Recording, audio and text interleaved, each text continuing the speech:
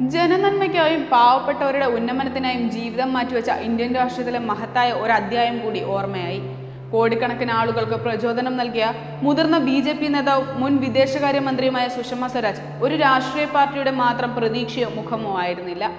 രണ്ടായിരത്തി പത്തൊമ്പതിലെ തിരഞ്ഞെടുപ്പിൽ അനാരോഗ്യം കാരണം സുഷമ വിട്ടുനിൽക്കുകയായിരുന്നു.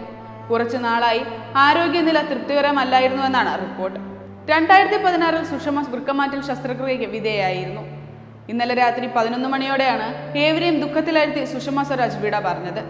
ഹൃദയാഘാതത്തെ തുടർന്ന് ഡൽഹിയിലെ സ്വകാര്യ ആശുപത്രിയിലാണ് സുഷമ അന്തരിച്ചത്. മൃതദേഹം രാവിലെ പതിനൊന്ന് വരെ വസതിയിലും പന്ത്രണ്ട് മുതൽ മൂന്ന് വരെ ബി ജെ പി ആസ്ഥാനത്ത് പൊതുദർശനത്തിന് വയ്ക്കും. സംസ്കാരം മൂന്ന് മണിക്ക് ലോധി റോഡ് വൈദ്യുത ശ്മശാനത്തിൽ നടക്കും. സുഷമയ്ക്ക് അന്ത്യാഞ്ജലി അർപ്പിക്കാൻ രാജ്യം മുഴുവൻ ഡൽഹിയിലേക്ക് ഒഴുകുകയാണ്. പ്രധാനമന്ത്രി മോദി അടക്കമുള്ളവർ സംസ്കാരത്തിൽ പങ്കെടുക്കുമെന്നതിനാൽ ഡൽഹിയിൽ സുരക്ഷയും ശക്തമാക്കി.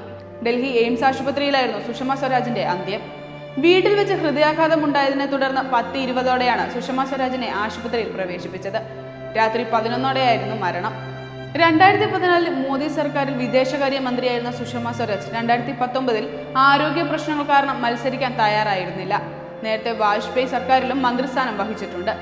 രണ്ടായിരത്തി പത്തൊമ്പത് രണ്ടായിരത്തി പതിനാല് കാലഘട്ടത്തിൽ പ്രതിപക്ഷ നേതാവ് സ്ഥാനവും വഹിച്ചിട്ടുണ്ട്. സുഷമ സ്വരാജിന്റെ നിര്യാണത്തിൽ മുഖ്യമന്ത്രി പിണറായി വിജയൻ അഗാധമായ ദുഃഖം രേഖപ്പെടുത്തി. പാർലമെന്ററി രംഗത്തും നയതന്ത്ര രംഗത്തും അവരുടെ പ്രവർത്തനവും ഇടപെടലുകളും ശ്രദ്ധേയമായിരുന്നുവെന്ന് മുഖ്യമന്ത്രി അനുസ്മരിച്ചു. ആയിരത്തി തൊള്ളായിരത്തി അൻപത്തിരണ്ട് ഫെബ്രുവരി പതിനാലിന് ഹരിയാനയിലെ അംബാല കണ്ടോൺമെന്റിനടുത്ത് ഹർദേവ് ശർമ്മയുടെയും ലക്ഷ്മി ദേവിയുടെയും മകളായി സുഷമയുടെ ജനനം. പാകിസ്ഥാൻ ലാഹോറിലെ ധർമ്മപുരിയിൽ നിന്ന് ഭാരത വിഭജന കാലത്ത് ഹരിയാനയിലേക്ക് സ്ഥിരതാമസമാക്കിയതാണ് ശർമ്മയും കുടുംബവും. പഞ്ചാബ് സർവകലാശാലയിൽപ്പെട്ട ചണ്ഡീഗഡ് സനാതൻ ധർമ്മ കോളേജിൽ ബി എ ഡിഗ്രിയാണ് സുഷമ പഠിച്ചത്. പൊളിറ്റിക്കൽ സയൻസ് മുഖ്യ വിഷയം സംസ്കൃതം ഉപവിഷയം. പിന്നീട് എൽ എൽ ബിയും നേടി. സുഷമ എഴുപതുകളിൽ വിദ്യാർത്ഥി രാഷ്ട്രീയത്തിലൂടെയാണ് പൊതുരംഗത്തെത്തിയത്. നിയമബിരുദം നേടിയ അവർ അടിയന്തരാവസ്ഥയ്ക്കെതിരെ പ്രക്ഷോഭ പരിപാടികളിൽ പങ്കെടുത്തു. ആയിരത്തി തൊള്ളായിരത്തി എഴുപത്തിയേഴിൽ ഹരിയാന നിയമസഭയിലെത്തിയ സുഷമ സംസ്ഥാനത്തെ ഏറ്റവും പ്രായം കുറഞ്ഞ മന്ത്രിയായി.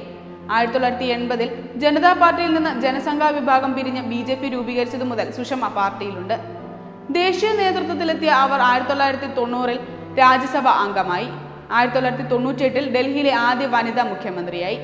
ഹരിയാനയിലും ഉത്തരാഞ്ചിലും മധ്യപ്രദേശിലും നിന്ന് രാജ്യസഭയിലേക്ക് എത്തിയ സുഷമ രണ്ടു തവണ ലോക്സഭയിലെത്തിയത് സൗത്ത് ഡൽഹി മണ്ഡലത്തിൽ നിന്നാണ്.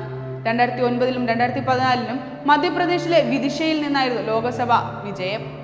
രാജ്യത്ത് ഒരു രാഷ്ട്രീയ പാർട്ടിയുടെ വക്താവാകുന്ന ആദ്യ വനിത എന്ന റെക്കോർഡും സുഷമയ്ക്ക് സ്വന്തം. സോഷ്യലിസ്റ്റ് നേതാവും മിസോറാം മുൻ ഗവർണറും സുപ്രീം കോടതി മുതിർന്ന അഭിഭാഷകനുമായ സ്വരാജ് കൗശലാണ് ഭർത്താവ്. രാജ്യസഭയിൽ ഒരേ കാലത്ത് അംഗങ്ങളായിരുന്ന ദമ്പതികൾ എന്ന ബഹുമതിയും ഇവർക്കുണ്ട്. ബൻസൂരി ഏക പുത്രിയാണ്.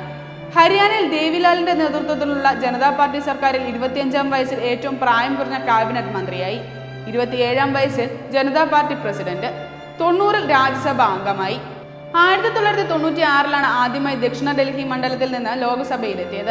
തൊണ്ണൂറ്റി ഒൻപതിൽ ബെല്ലാരി മണ്ഡലത്തിൽ നിന്ന് കോൺഗ്രസ് അധ്യക്ഷ സോണിയാഗാന്ധിക്കെതിരെ മത്സരിച്ച് പരാജയപ്പെട്ടു. ആയിരത്തി തൊള്ളായിരത്തി തൊണ്ണൂറ്റിയെട്ടിൽ ഡൽഹി മുഖ്യമന്ത്രിയായി.